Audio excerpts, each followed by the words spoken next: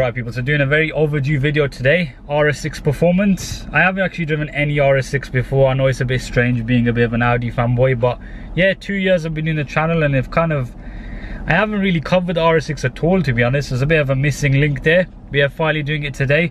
This particular car has been provided to me by um, Pinnacle Luxury Car Hire.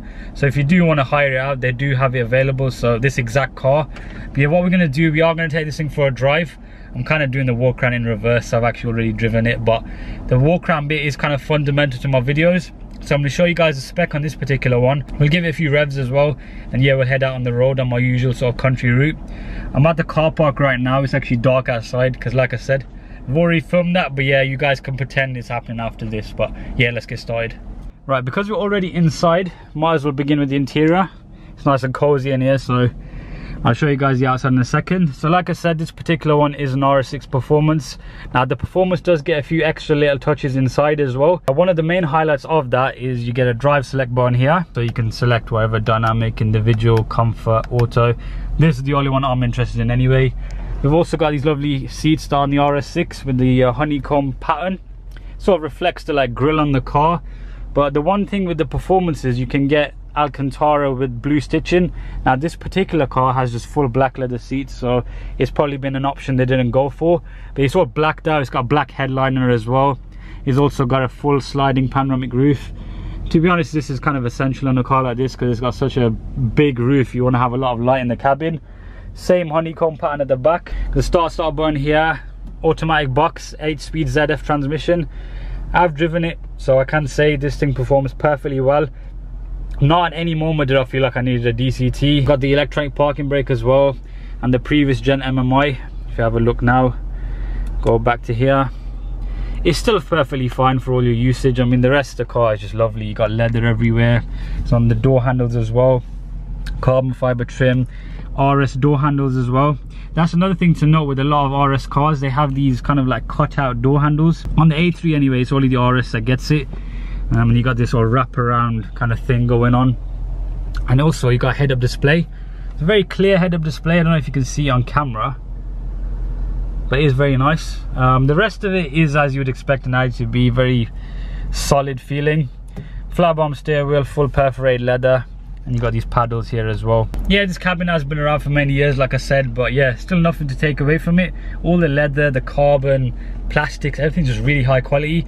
You feel like you're in an expensive car like this is a 90 100,000 pound car new so it's above your like a3s and your 3 series and stuff like that. Right. Car park. So this one's got Bose you can get upgraded Bang & Olufsen sound system as the car's bonging at me right so RS6 performance. Hopefully there's not too much noise here but literally is a massive car like it doesn't even fit anywhere. I know we'll park like a BMW driver there's my car there. But there it is proper machine. This one is a performance like I said so you get a bit more power. Another thing to identify with the performance you get this matte titanium finish around there. You get on the mirrors as well and you get these unique alloys too? Move around the front you've got the matrix led headlights. These are standard on any rs6 even the regular one. Um, as long as you've got the facelift. Car's finished it black as you can see. Got the full panoramic roof you'll open that in a second. And you got these roof rails. But it's just a massive car. You have to stand a bit back to get it in frame. I mean, here's my car it's really short. But yeah we are gonna focus on that. It's an audi video these wheels you can get them in a few different finishes. You can get like black gloss black inlays. They're kind of like two different wheels in one. Red brake calipers as well. Um, you can get ceramic brakes as an option. There's a few different packages with these as well. You can get a dynamic package and then dynamic package plus or something like that. So you can really spec them really highly. Got the spoiler on the back here. And you got the uh, sports exhaust standard on the performance variant uh, that is an optional extra on the regular RS6 if you can call the RS6 regular. Um, in terms of power differences, there is about 40 horsepower difference. Let's open up the engine bay. We'll definitely get some revs in as well. RS6 illuminated plate. You know what I like? It actually says RS6 on the seats. Now the new gen Audis, they just say RS and they say S. They're very, um, like they're cost saving.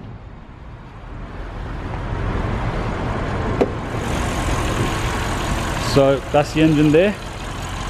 4 litre twin turbo V8 it's like a hot V configuration. 605 PS or 597 bhp whichever way you want to put it. You also get an overboost function with the performance. So that pushes the sort of torque up to 553 on overboost but either way it's a lot of power. Definitely not lacking for in any way. All the note 60 know that stuff you can check anyway. I don't really like to bore you guys with too much stuff you can read online anyway so beast of an engine hardly any lag. And yeah. Right so let's just make sure it's in dynamic. Oh, the valve's closed then. I'm gonna get some revs in.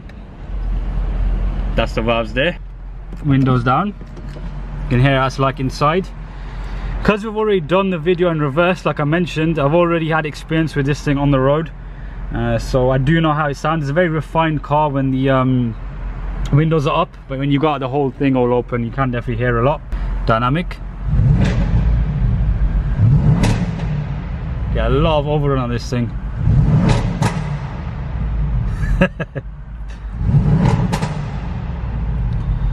It echoes a lot in this car park man. Hopefully you don't get kicked out of here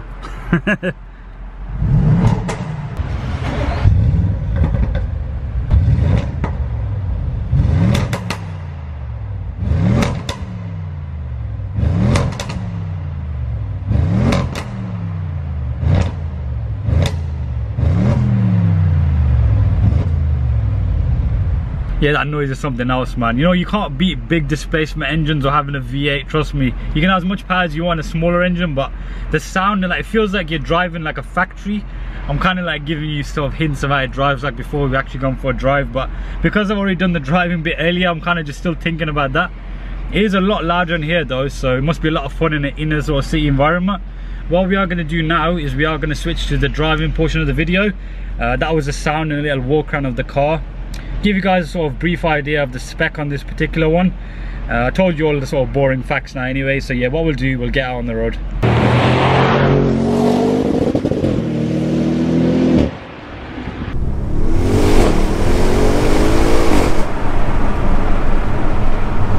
It's like literally like you're driving like a factory or something the way that thing pulls. It's a sound as well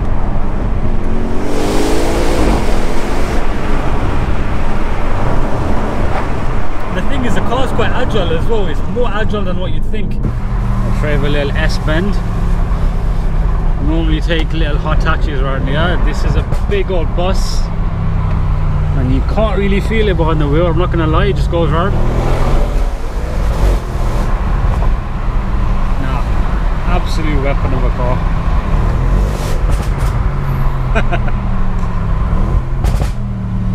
Yep RS6 is an RS6 man, you can't do anything about it man. See I've been doing a couple of Japanese cars lately. I mean people do tend to comment like saying do more Japanese cars. But when I do them, there's like a very limited audience compared to like say driving an RS car, stuff like that. So we are going to stick to the German cars mostly from now on. I had to go on a couple of them just to give you guys an idea of what I think about those Japanese cars, but yeah, when I get in a black RS Audi or any colour, it doesn't really matter. I just feel like I'm at home.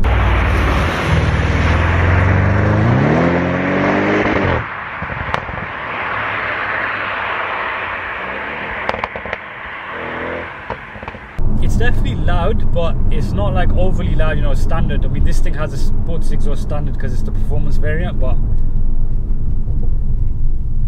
you can tell this car is like more of a um, designed for someone who's like a, a bit more made it, you could say. It's not like a lad's car. Okay, we get some overrun now. There's a lot of wind. Mark it back to second. You can hear that there.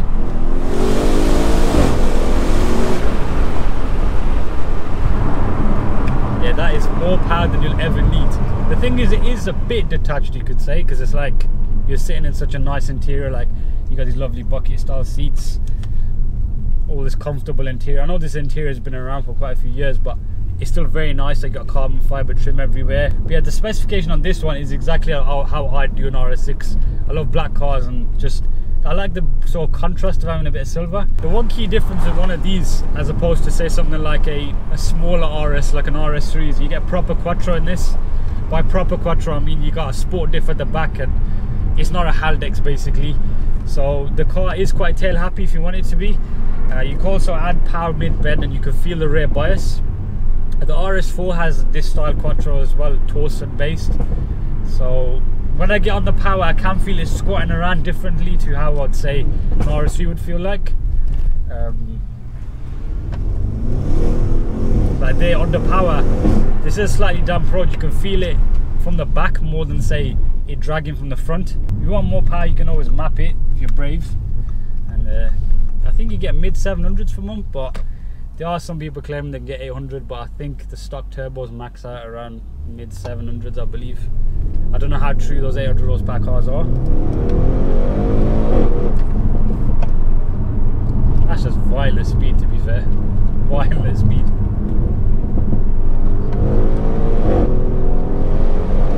a very agile car, you know. Strange, it's like detachable, also agile. I know it's kind of hard to explain, you know, over a video, but like that quarterback there, you just add power and it keeps tugging around. There's no push at all.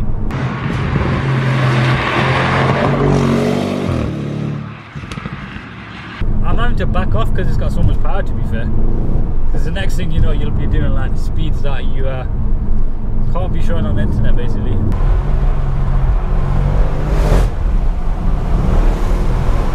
What I mean about the agility, like the way this car is dealing with all these cambers. And like from here, like behind the wheel, it does you can't feel the rest of the car, like you know, in terms of this massive estate shape behind you. Yeah, it's a bit wide, but you already know that when other cars come in.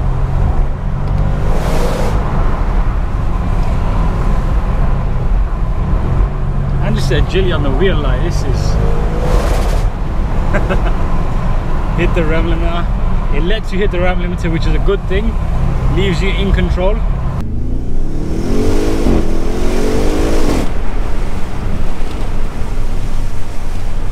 It's a different kind of speed. It's a different kind of speed. You know what's interesting with these yeah? When you hear them in real life or you say you jump in the driving seat you can hear like a whirring noise you know when you accelerate. I've never heard that on any RS6 video but try and show you once we get past this little blind turn here. Yeah, that's a little overrun now. There's like a sweet spot in it, just over 3k. It's very similar to how the E63 did it to be fair. Just keep tapping around 3000. That car is very different though. That drove like a rear wheel drive car. Um, and it slid around standard sports exhaust does sound good though. It's not over the top, but with the windows up, you can't really hear much. Little bridge here. It's a thunderous noise.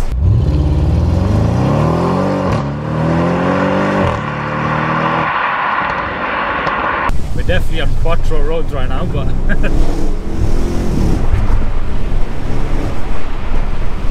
I mean, this road I normally use it for, um, you know, when I drive something like a Cupra or something like that. But this is a big old car yeah, and it's doing all right. Probably got more power than you need, but that's not something to complain about. Luckily, the brakes are good. Um, otherwise, it's quite a big car to chuck around these roads. Gotta be a bit cautious. You never know when a tractor might be coming around. Luckily I'm used to them though. What a power plant.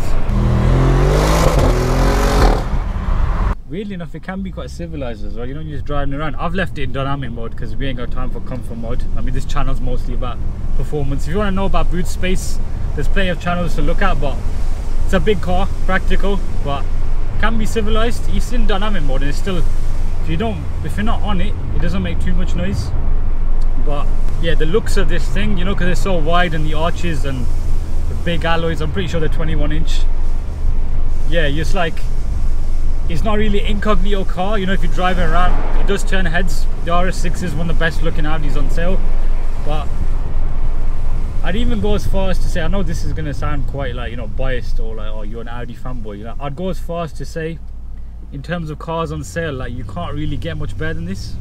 Because you know if you want something that does everything you know at a certain price level because this is genuine supercar performance. You've got all the practicality you've got looks you've got sound. The tech is still perfectly fine still as well even in 2019 yeah okay it's not got like some of the newer Audi bits like the virtual cockpit and stuff like that but then you've got to remember this shape A6 came out in what? Was it like 2011 or something like that? It's been a while. So the new RS6 is due that is going to change the game I'm pretty sure of it. Now having driven this and it's still being so good even yeah look at the sound even being like this good after having driven say the new E63 which is the latest crop of super saloons yeah the new one's gonna be something.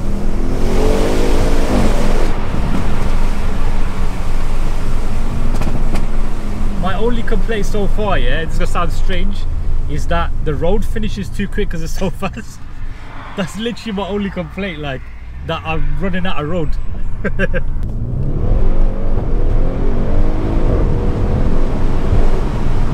Yeah. there's no way a car should pull out of a junction like that do you know what I mean? Right people so I think that was a good feel for the RS6 it is getting a bit dark now so these GoPros don't tend to work very well when there's no light. But yeah I know it's been a long overdue video. Hope you guys enjoyed it anyway. Make sure to give the video a thumbs up if you did also make sure to check out Pinnacle Luxury Cars as well. Uh, they're the ones who supplied me with this car today to have a go in. Absolute beast of a car. Uh, I can finally take it off and said we've done a video on it. And also being an Audi fanboy as well yeah. I know I drive an M car but it's kind of just it needed to be done basically. And uh, my main sort of takeaway points from the video are it's very agile for the size and yeah the power is just rude man. But yeah guys anyway uh, enough of that rambling. I'll see you in the next video